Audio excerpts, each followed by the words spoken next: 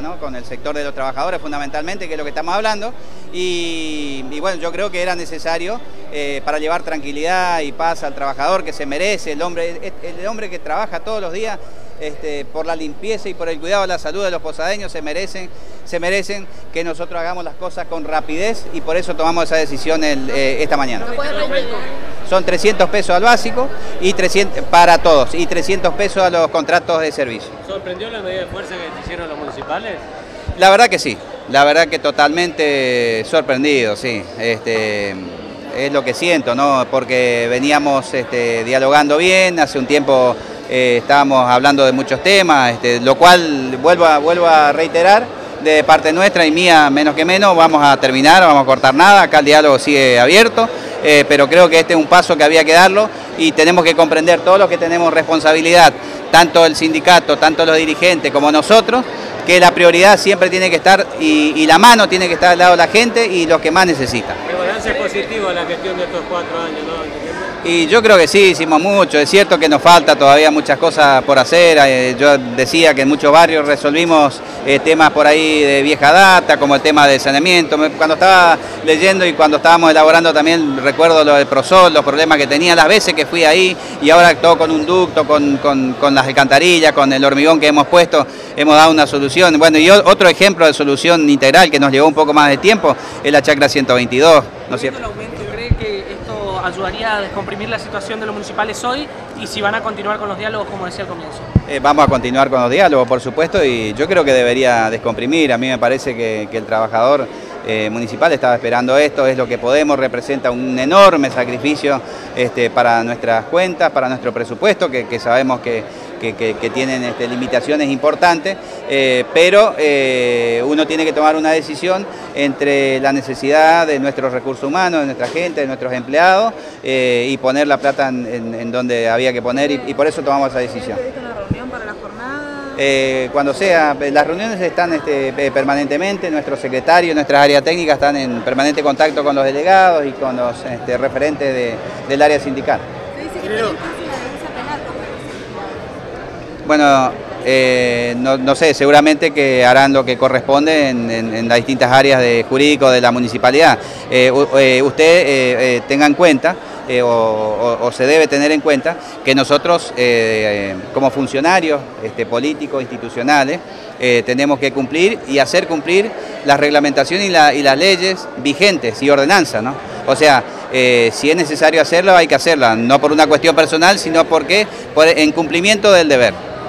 De su discurso mencionó un simposio de cultura de Mercosur. ¿Cuándo se desarrolla? Eh, el simposio, bueno, está previsto para el mes de septiembre y va a ser este, absolutamente novedoso, me parece, nos gusta mucho, nos va a dar un realce a la ciudad, eh, esa, interactuación, digamos, de los, de los artistas, los escultores con la gente.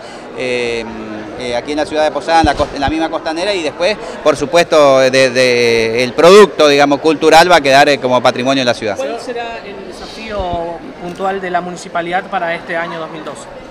Y bueno, continuar y profundizar las políticas que veníamos este, sustentando, por ejemplo, este, no aflojar para nada este, todo lo que tenga que ver con, con, la higiene de la ciudad, todo lo que hace la limpieza, la recolección, eh, un, tema como hoy, por ejemplo, es un puntito en contra a lo que, a lo que uno debe pretender como cada vez una ciudad más limpia, más, más organizada, ¿no es cierto? Pero eh, con la predisposición y con la ayuda de todos, este, estoy hablando de los municipales, lo, vamos a hacer. Em, no, descuidar para nada y profundizar más el tema de los cuidados de la salud, la lucha contra las enfermedades emergentes y reemergentes, como decía, potenciar y siempre, y para todo eso, lo fundamental, lo fundamental es este, disponer de los recursos, tener recursos presupuestarios para poder asignar a, cada una de las actividades. Cada una de las actividades locales eh, requieren este financiamiento. El, tema de, eh, escúcheme un, tema solamente, discúlpeme, el tema de la promoción del turismo. Eh, ahí yo lo, nombraba este, un poco rápidamente, todos los apoyos de todas las ferias, tanto como la FICO, la Feria Forestal, la Ecovidi, el, TC, por ejemplo, eh, que, no solamente apoyamos nosotros, apoya fuertemente el gobierno provincial. El tema del TC yo lo conozco porque, porque me tocó iniciar y traer esa categoría cuando yo estaba en vialidad provincial y, nunca dejamos de apoyarlo. Ese apoyo tiene una lógica, tiene un sentido, que es promover la actividad turística en la, en la, provincia y en la ciudad de Posada, y, necesita, necesita recursos, y esos recursos este, compiten con otras erogaciones. 2012, eh, ¿cuál va a ser la prioridad para este año en la parte legislativa desde su, desde su grupo de trabajo?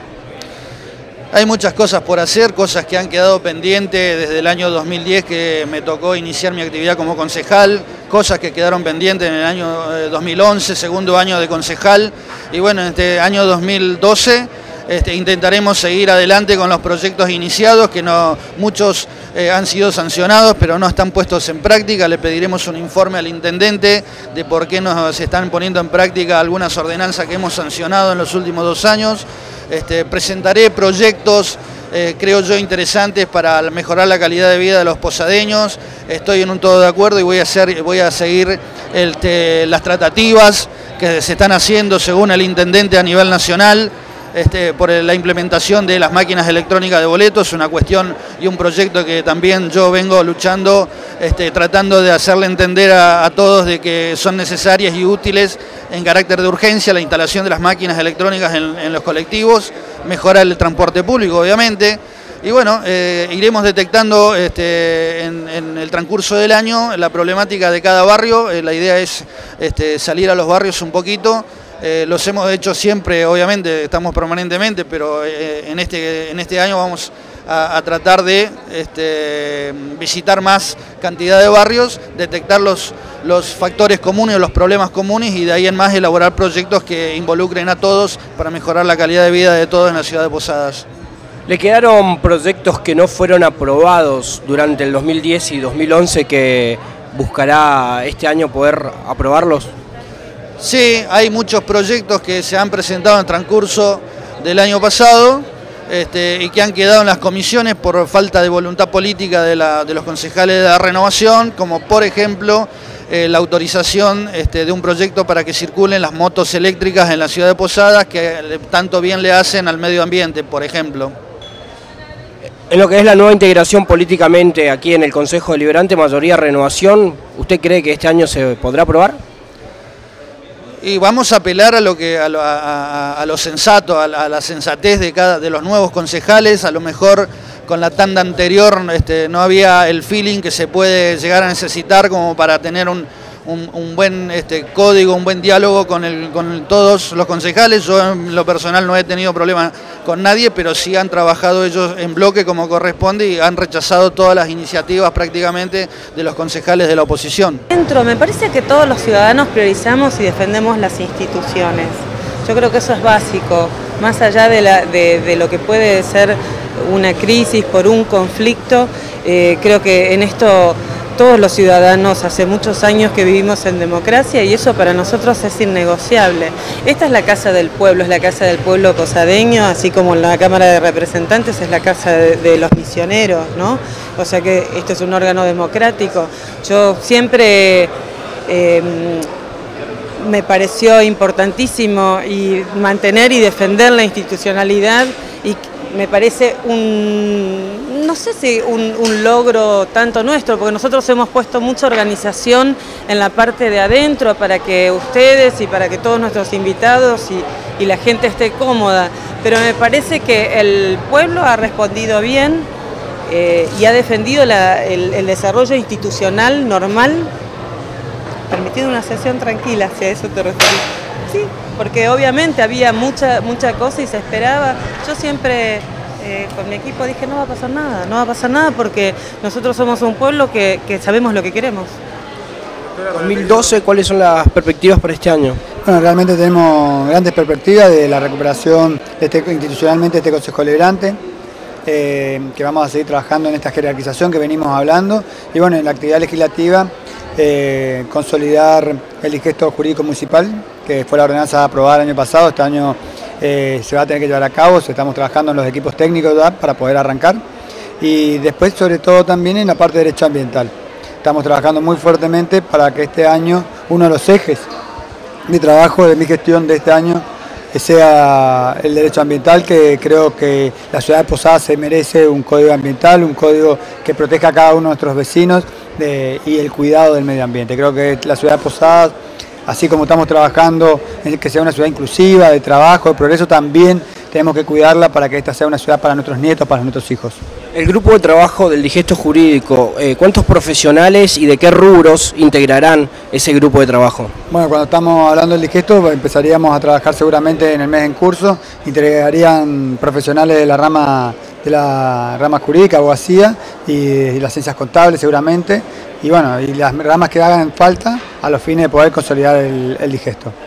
Hablando de, lo, de, la integración política dentro del Consejo Deliberante este año, ¿se puede decir que para la renovación va a ser un año un poquito más liviano comparado a lo que fue el 2010 y el 2011? Seguramente va a ser un año más liviano, utilizando tu palabra, que el 2010, pero va a ser un año de trabajo y donde realmente se van a dar las herramientas tanto al ciudadano de Posadas como al señor intendente municipal, que fue elegido, reelegido con el 75% de los votos en la ciudad de Posadas, de las herramientas necesarias para consolidar cada uno de los sueños de los posadeños.